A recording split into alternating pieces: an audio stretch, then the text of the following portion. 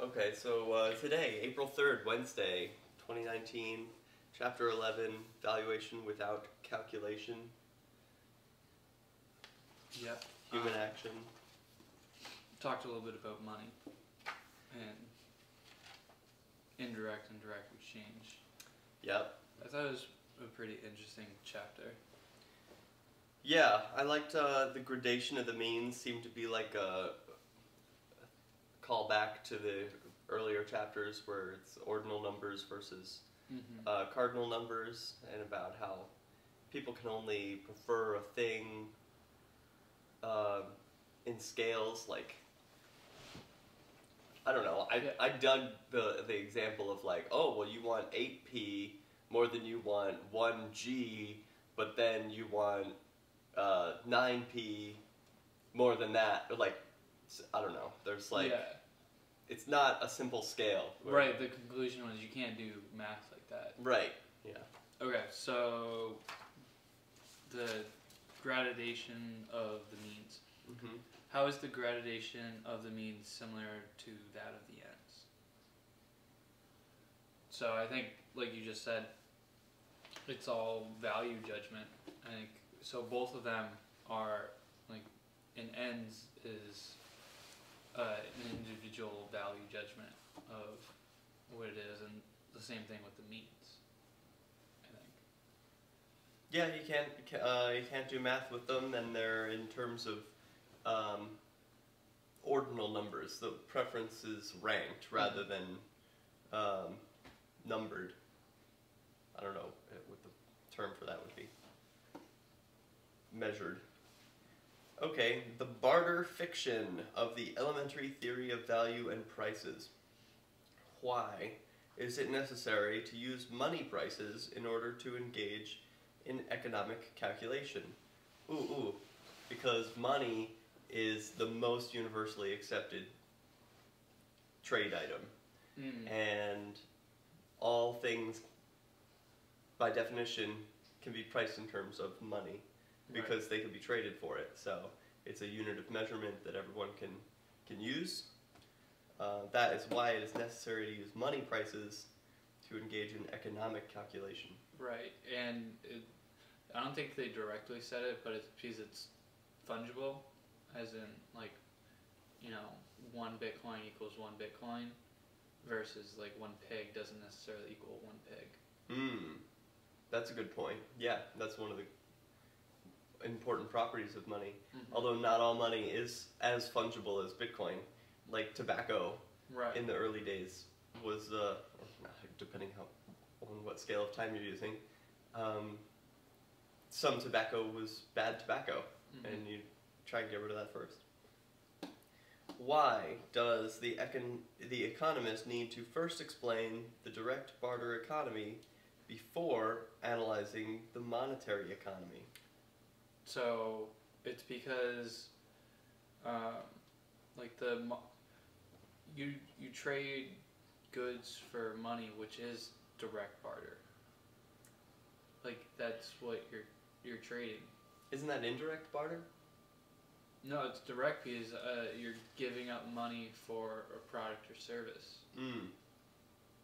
So there is no we can't there is no monetary economy without direct barter. Because Hmm. like by definition, like you that's what I think. Then what would indirect barter be? Hmm. That's a good question. What would you say indirect barter is? With money? I would say indirect barter. So if direct barter is trading one thing for the other thing that you want, then indirect barter would be trading one thing and then another thing, you know, with someone else to Yeah. get what you want. Um, but that sounds to me like what you do with money. You're like, I want this thing and then I want that other thing. So like, I'll sell this car so that I can get this house. But I have, I'm not trading the car for the house. I'm trading the money first. I don't know. Right. Is there a clue in the chapter here? I'm kind of skimming through.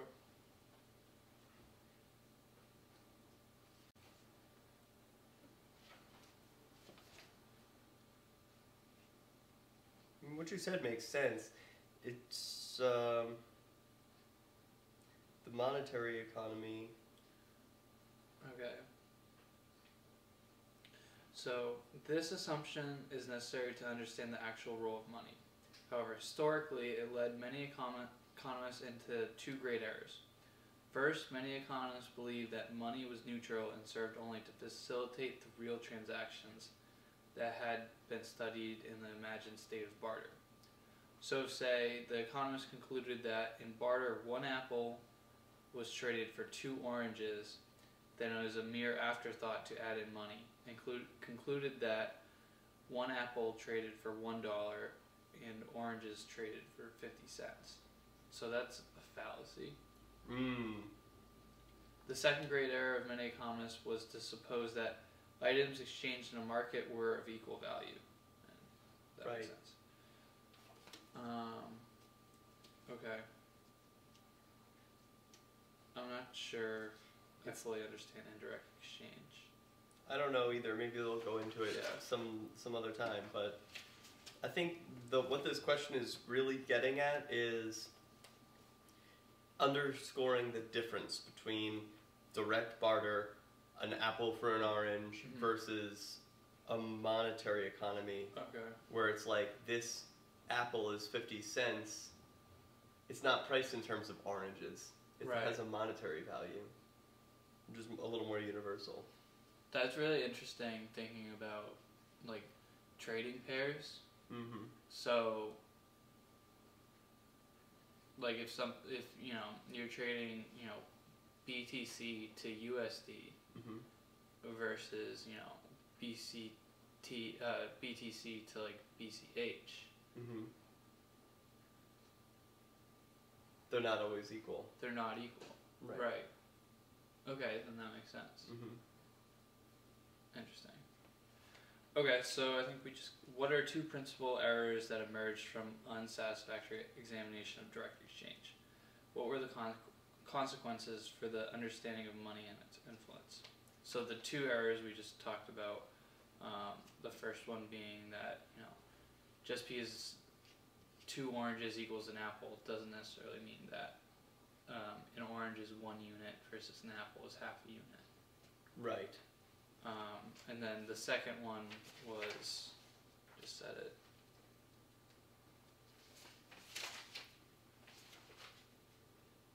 It was that money is an afterthought. The second great error of many economists was to suppose that items exchanged in the market were of equal value. Oh, that they were of equal value. Right. Right. Like, uh, and that that is a huge mistake.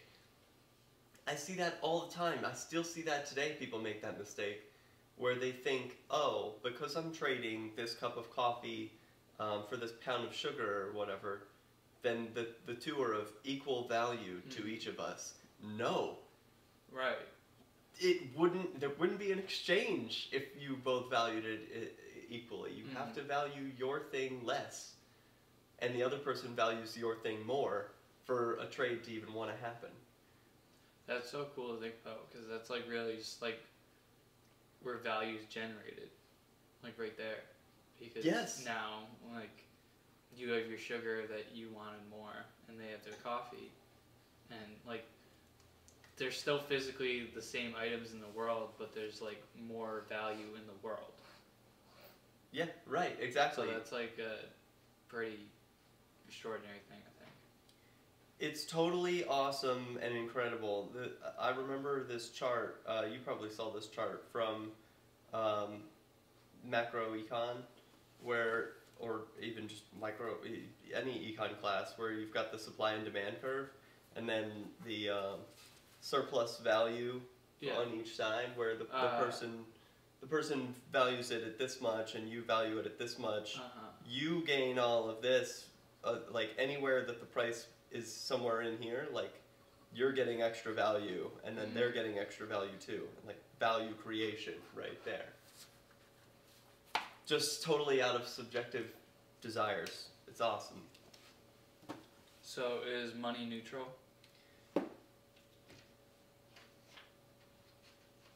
This feels like a trick question. I, I should say so. Yeah, I would think it's neutral. Money doesn't. Why? Why would it be partial? I, w- I would Yeah. think that would be a definition. That's definition. what that's what I would think, but I, I It seems too simple. Why right.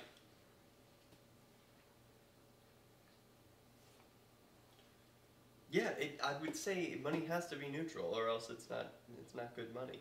Right. Does exchange imply that the goods or services involved have equal value? No. They do not have equal. They explicitly do not have equal value. Can uh, can we measure value? Well, to a degree, I think we can, like as as I just depicted, but yeah, it's not. I I don't think you can measure it because they talked about it like an intrinsic like psychic property. Mm, yeah, that's true. Like your your preference for something, you can't can't quite measure that. Mm-hmm. But I can measure my willingness to make a trade based on the price of something. Like, oh, okay, you'll sell me Bitcoin for four thousand dollars today. I will take that trade all the way up until you know four thousand eight hundred ninety nine dollars. Like, that will still be my preference. I can measure measure that value. I value well. No, I can. I can't measure what, how much I value that Right. because I just I just want that trade. But I want it less if it's four thousand eight hundred ninety nine than I do at four four thousand. But I don't know how I would. yeah, you don't know how much less because it's or it's It, it's- it's yeah, it's ordinal, not cardinal. not yeah, it's ordinal, not cardinal. Yeah. Yeah. Right. Okay, fair fair enough. What can we say about the valuation of units of a homogeneous supply?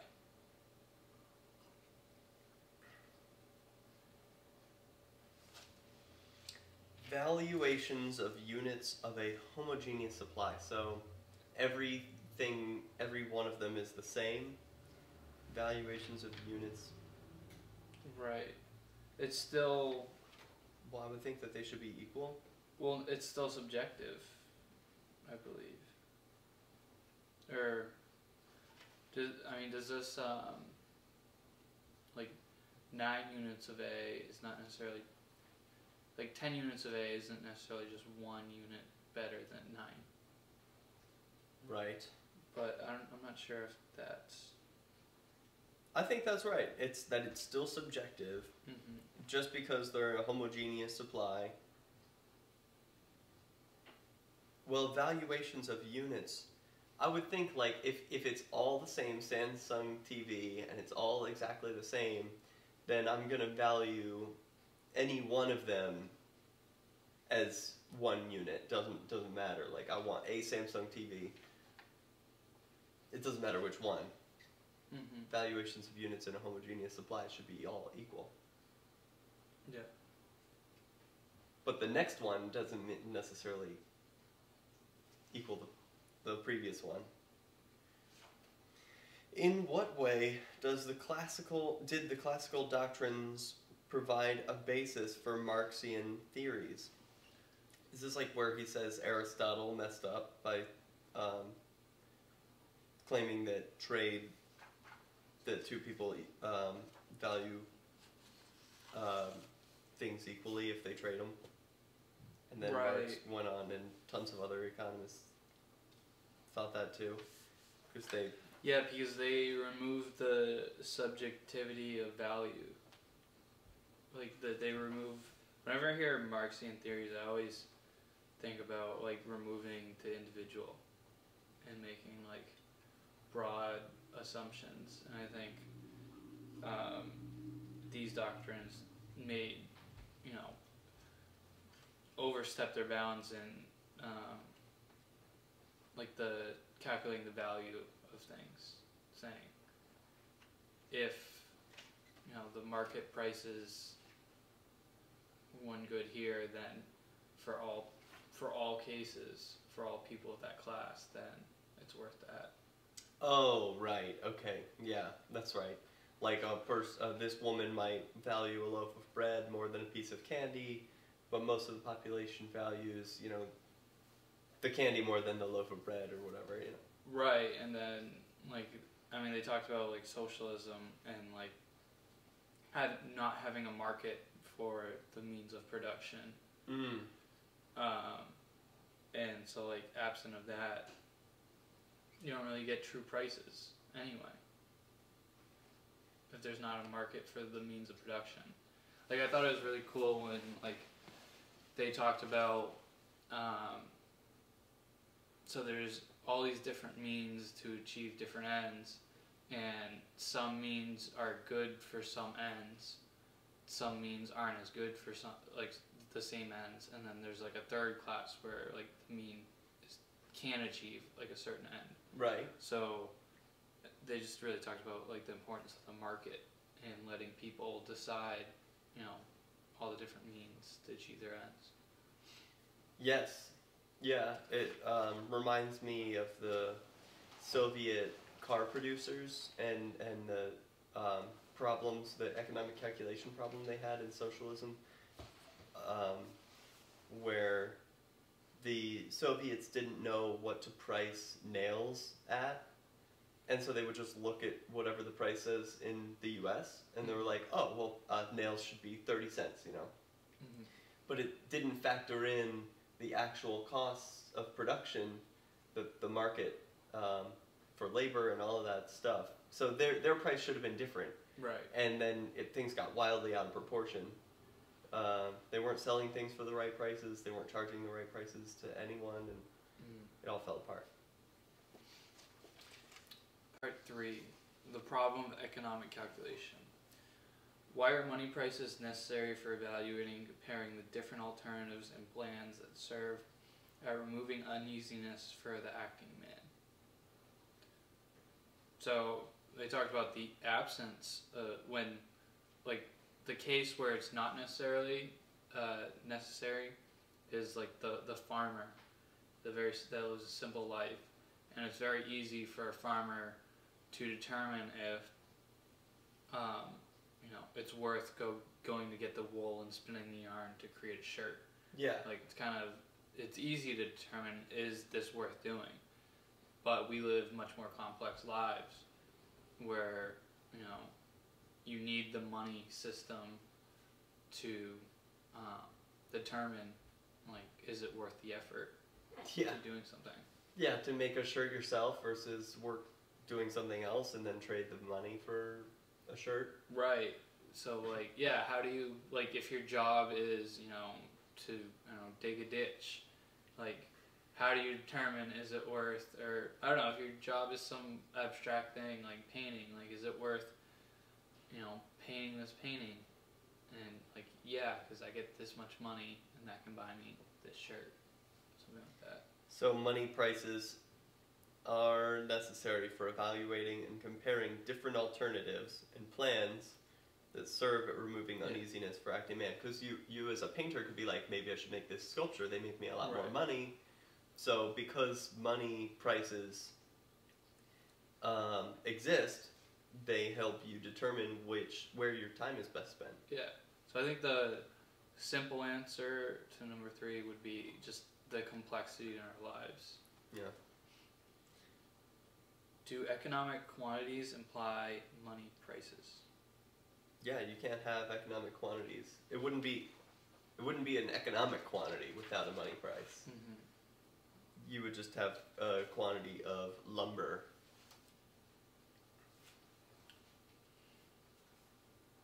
Four, economic calculation and the market. So there's a comment. The distinctive mark of economic calculation is that it is neither based upon nor related to anything which could be characterized as measurement. So why do exchange ratios permanently fluctuate?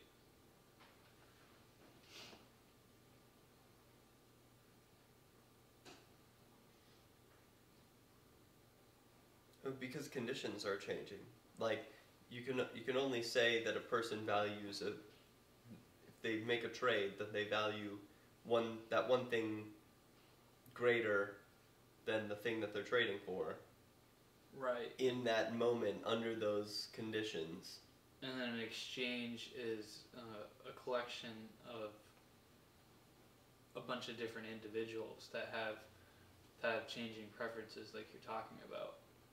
Yeah. So that, yeah, that is what an exchange is. The, and and all their conditions are always changing. So uh, exchange ratios are permanently fluctuating because everything is changing.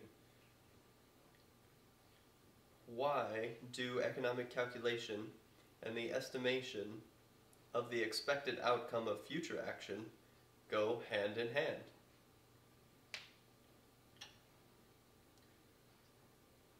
Well, it's a part of the economic calculation. When you make a trade, you're looking to achieve an end in the future. Yeah. Yeah. You are expecting a better future outcome of relieving uneasiness, and that factors into your economic calculation of what you're willing to trade now for the hope of a better future.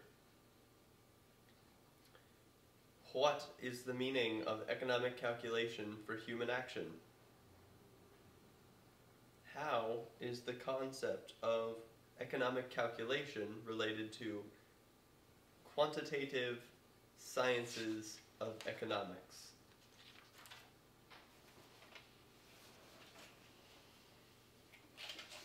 What is the meaning of economic calculation for human action?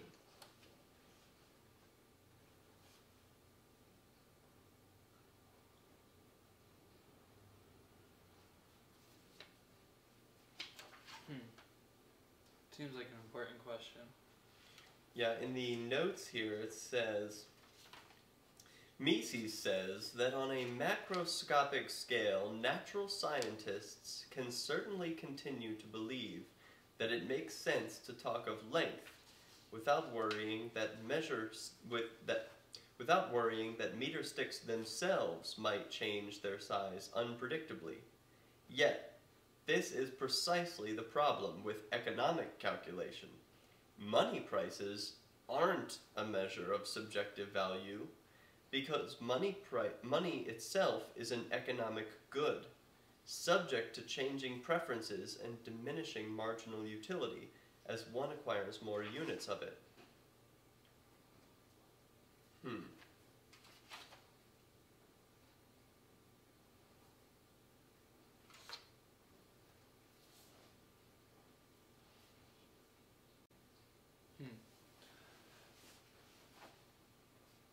So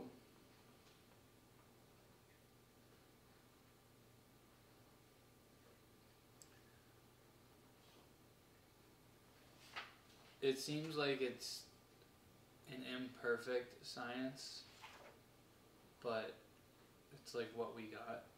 Yeah, I think that's the bottom line.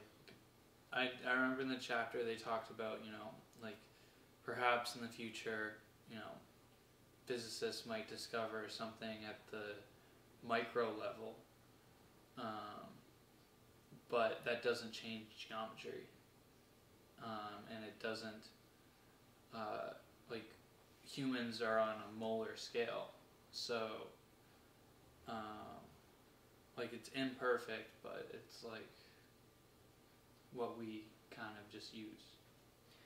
Mm-hmm. This um, this sentence sticks out to me even though they are malleable, unlike, say, a chemist's. Uh, sorry, I should back up and just read the whole paragraph here. The, the money prices established in a market are not measurements of value, they are historical facts, recording the ratio at which two items, the money good and some other good or service, exchanged in the past.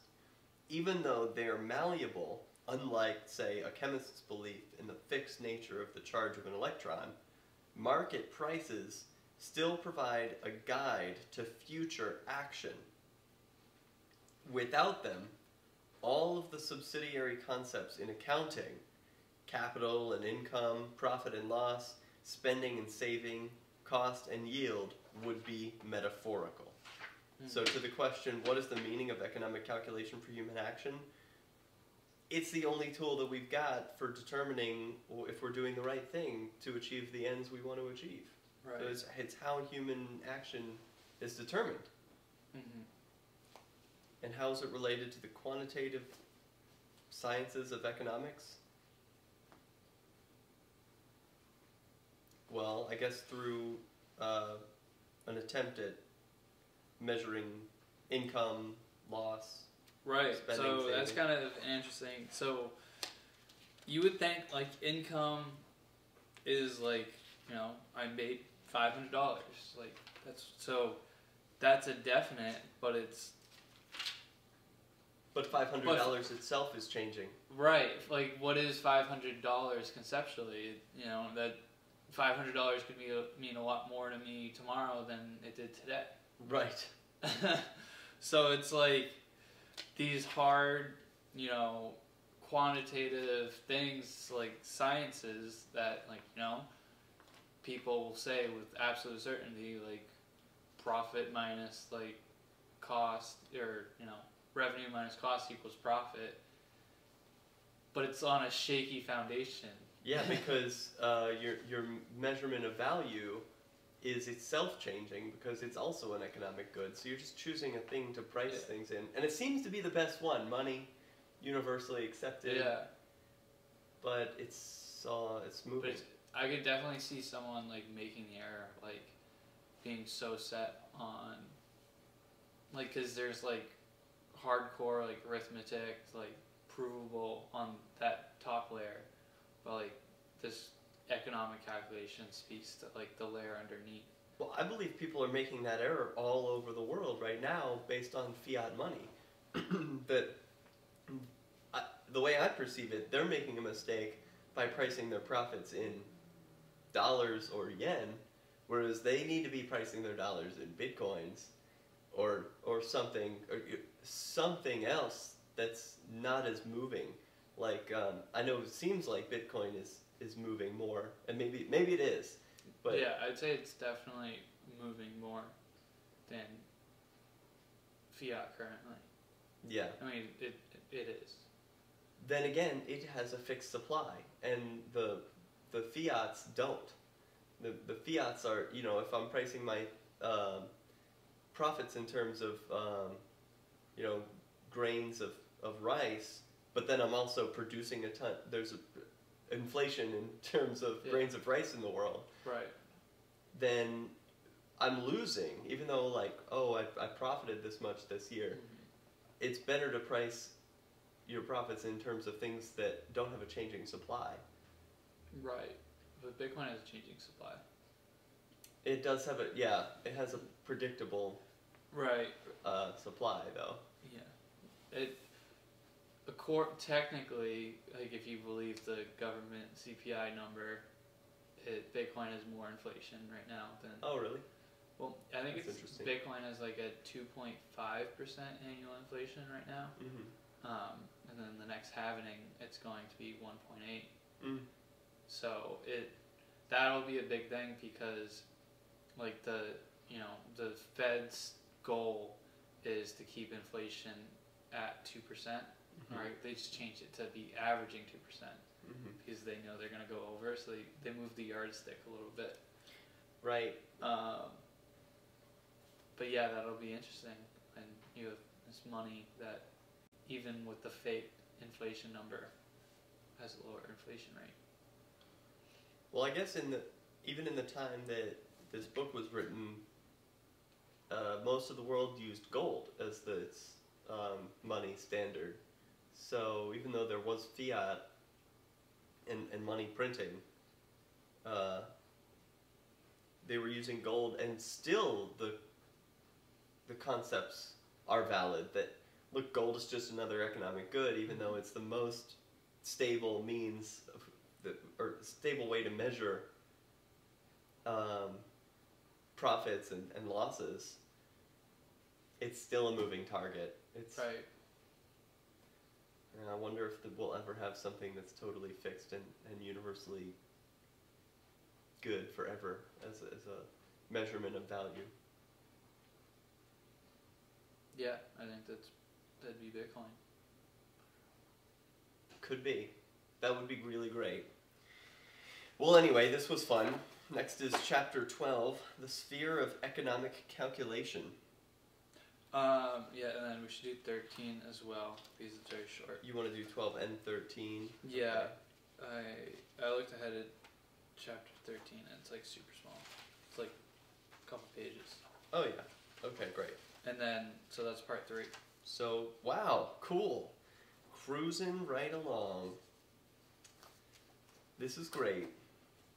We're in April. We're going to be finished this by Christmas. Yeah, I'm really starting to get into this book. Yeah, me too.